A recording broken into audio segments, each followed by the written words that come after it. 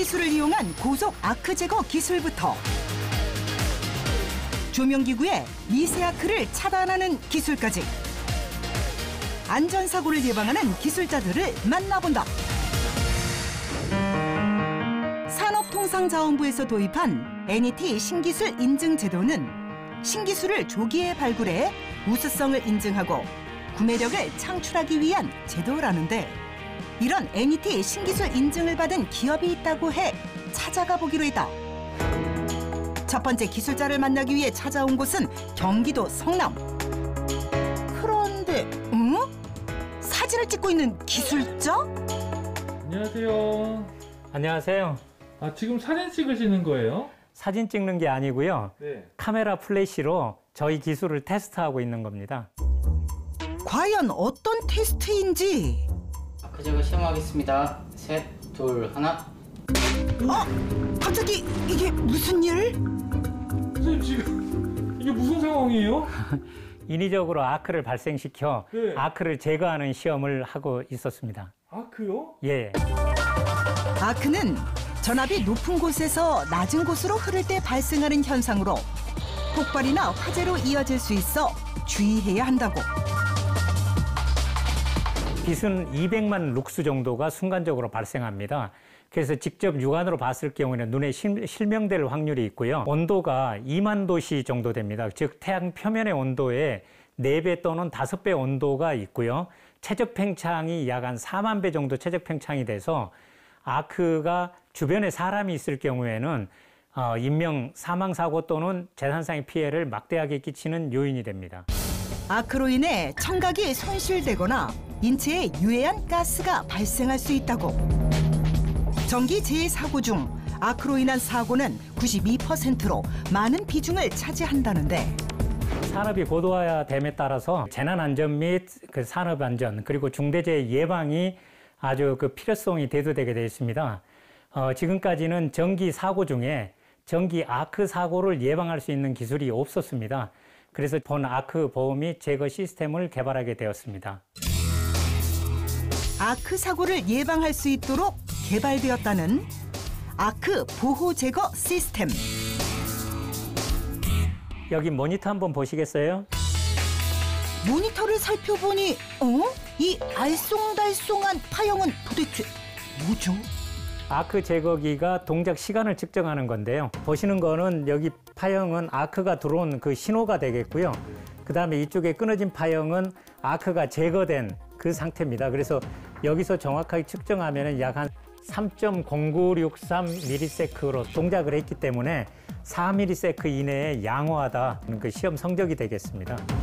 외부적인 요인으로 인해 아크가 발생했을 때 세개의 전선 전압을 똑같이 맞춰 아크를 제거한다고. 이런 아크를 얼마나 빨리 제거할 수 있을까? 1000분의 4초, 4ms에 동작할 수 있는 거는 이 안에 들어가 있는 톰슨 코일 액추에이터 구조 때문에 4ms에 동작할 수 있습니다. 톰슨 액추에이터? 처음 들어보는 말인데 음, 이게 무슨 소리? 아크 제거기 구동 장치에서 방출된 전기가 톰슨 코일 양단에 공급이 되면은 톰슨 코일은 전자 반발력이 형성이 되고요. N극이 되면은 가동자도 N극이 돼서 어, 가동자가 움직이게 돼 있는 그런 구조입니다. 톰슨 코일에 전기를 가하면 전자 반발력이 생기는 원리를 이용했다는데 아크가 발생하면은 가동 접점부가 고정 접점 축으로 이동되고요. 전기의 형성이 이쪽을 통해서 아크를 제거하게 된 구조가 되겠습니다. 이번에는 또 다른 시험을 보여준다며 기계에 여러 전선을 꼽더니 바리케이트까지 설치하는 기술자. 상용주파 내전압 시험인데요.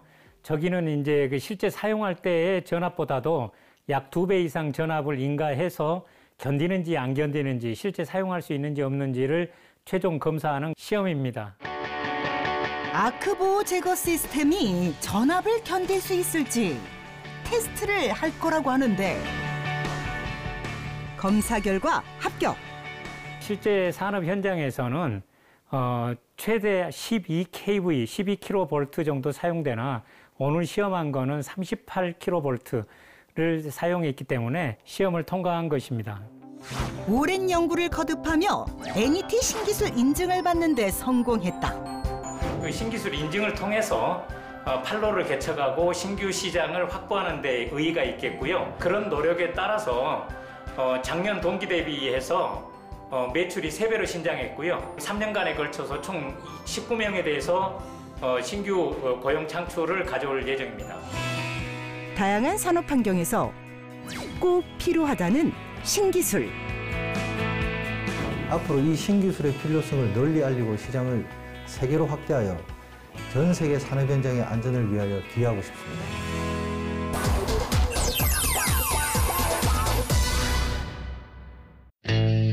두 번째 기술자를 만나기 위해 찾아온 곳은 경기도 안양. 안으로 들어가 보니 아니 사다리 위에서 지금 뭘 하는 건지 안녕하세요.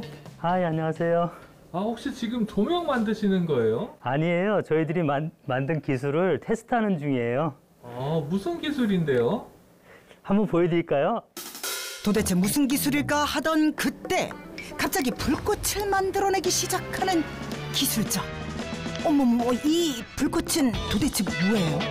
조명에서 일상생활에서 발생할 수 있는 네. 아크라는 거고요. 이런 작은 불꽃들이 큰 화재로 이어질 수 있, 있기 때문에 저희들이 요 아크에 대해서 연구를 하고 있는 겁니다.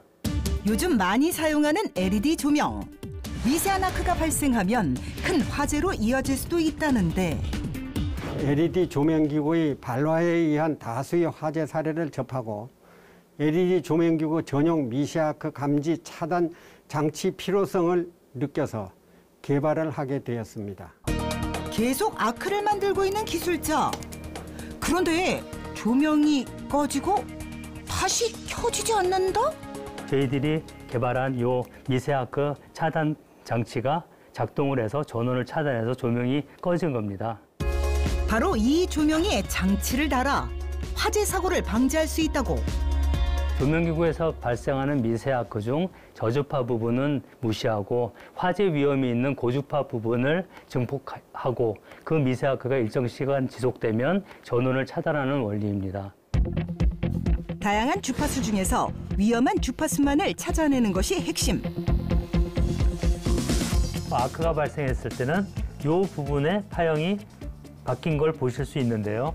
직접 화재와 관련 있는 이 부분에 있는 아크를 감지해서 차단하고 있습니다. 고주파 부분을 정확하게 감지해 차단에 성공. 그런데 또 빼놓을 수 없는 장비 하나가 있다는데 이 장비는 오실로스코프라고 하는데 눈에 보이지 않는 정기적인 신호를 시각적으로 보여주는 장비입니다. 요 밑에 있는 노란 선은 전원에서 들어오는 파형을, 그 다음에 위에 있는 빨간 선은 LED를 구동하는 파형입니다. 여기서 끝이 아니다. LED 조명에 아크가 발생하는 순간 정기적인 신호가 바뀌는 걸 확인할 수 있었는데 지금 위에 있는 파형은 아크가 발생했을 때 나타나는 파형이고요. 그 다음에 밑에는 전원이 공급해주는 파형인데 이 부분에서 아크가 발생했을 때 차단된 거를 나타내고 있습니다. 과연 차단하는 데 걸린 시간은 전원이 끊겼던 포인트까지 가는데 시간은 0.357초가 소요됐습니다. 그 결과 1초가 안 되는 시간에 완벽하게 차단되는 것을 보여드리고 있습니다. 그런데 갑자기 핸드드릴을 가지고 오는 기술자. 아니 이건 왜? 일상생활에서 화재와 관련 없는 아크가 발생하는데 그와 관련된 실험을 하고자 합니다. 과연 어떤 변화가 일어날지 핸드드릴을 썼을 때는 이 부위의 파형이 바뀐 것을 보실 수 있습니다. 이처럼 핸드드릴이 아크를 발생시킬 수 있지만 화재 위험이 없어 차단되지 않는다고. 기술자의 아크 차단 장치는 다양한 조명에 적용 가능하다고 한다. 경관등, 실내등, 다운라이터 여러 종류가 있는데 저희들 기술은 이런 여러 종류의 제품에 다양하게 적용될 수 있습니다.